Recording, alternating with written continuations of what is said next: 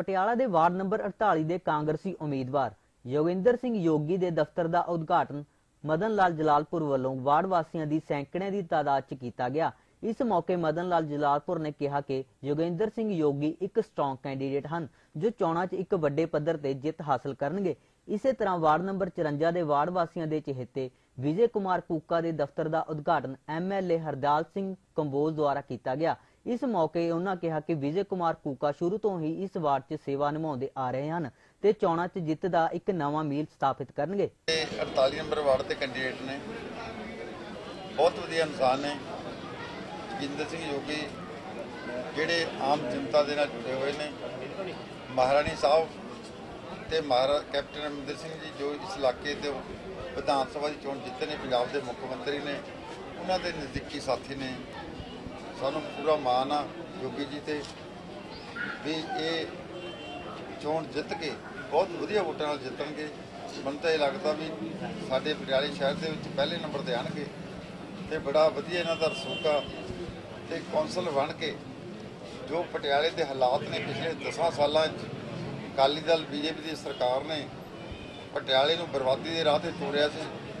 ਕੋ- ਕੋਈ ਕੰਮ ਨਹੀਂ ਇੱਥੇ 10 ਸਾਲਾਂ 'ਚ ਹੋਇਆ। ਕਿਸ ਜਿਸ ਵਾਰਡ 'ਚ ਮੈਂ ਗਿਆ, ਹਰ ਵਾਰਡ ਦਾ ਬੁਰੇ ਤੇ ਬੁਰਾ ਹਾਲ ਆ। ਤੇ ਜਿਹੜੇ ਯੋਗੀ ਜੀ ਇਸ ਵਾਰਡ ਨੂੰ ਚਮਕਾ ਦੇਣਗੇ, ਕੌਂਸਲਰ ਬਣ ਕੇ ਜਦੋਂ ਸਾਡੀ ਸਰਕਾਰ ਦੇ ਵਿੱਚ ਇਹਨਾਂ ਦਾ ਜਿਨ੍ਹਾਂ ਨੇ ਅੱਜ ਮੈਨੂੰ ਵਾਰਡ ਨੰਬਰ 48 ਜੋ ਖਾਲਸਾ ਮਹੱਲੇ ਦੇ ਨਾਲ ਨਾਲ ਧਾਨਕ ਸਮਾਜ ਔਰ ਇੱਥੇ ਢੋਲਪਾਟ ਨਾਭਾ ਗੇਟ ਕਿਸ਼ਨ ਨਗਰ ਦੇ ਨਾਲ ਜੁੜਿਆ ਹੋਇਆ ਹੈ ਤੇ ਮੈਨੂੰ ਕਿਉਂਕਿ ਪਟਿਆਲੇ ਦਾ ਸਭ ਤੋਂ ਸਿੱਖ ਵਾਰਡ ਸੀ। ਔਰ ਜਿਹੜਾ ਏਰੀਆ ਨਾ ਢੋਲਪਾਟ ਵਾਲਾ ਮੈਂ ਕਹਿ ਕੇ ਆਪਣੇ ਵਾਰਡ 'ਚ ਬੁਲਾਇਆ ਮੇਰੇ ਵਾਰਡ ਵਾਲਿਆਂ ਨੇ ਮੈਨੂੰ ਇੰਨਾ ਪਿਆਰ ਦਿੱਤਾ, ਕਿਉਂਕਿ ਮੇਰਾ ਬੜਾ ਮਨ ਦੁਖਦਾ ਸੀਗਾ। ਜਦੋਂ ਵੀ ਫੇਸਬੁੱਕ ਦੇ ਉੱਪਰ ਸੋਸ਼ਲ ਮੀਡੀਆ ਤੇ ਇਹ ਦੇਖਦੇ ਸੀ ਨਾ, ਇਹ ਸਹੀ ਕਰਕੇ ਸਾਡੀ ਸਰਕਾਰ ਦੀ ਬਦਨਾਮੀ ਕਰਦੇ ਸੀ, ਕਲੰਕ ਲਾਉਂਦੇ ਸੀ। ਮੈਂ ਤਾਂ ਹੁਣ ਇਹਨਾਂ ਨੂੰ ਸਾਰਾ ਕੰਮ ਕਰਕੇ ਦਿਖਾਵਾਂਗਾ।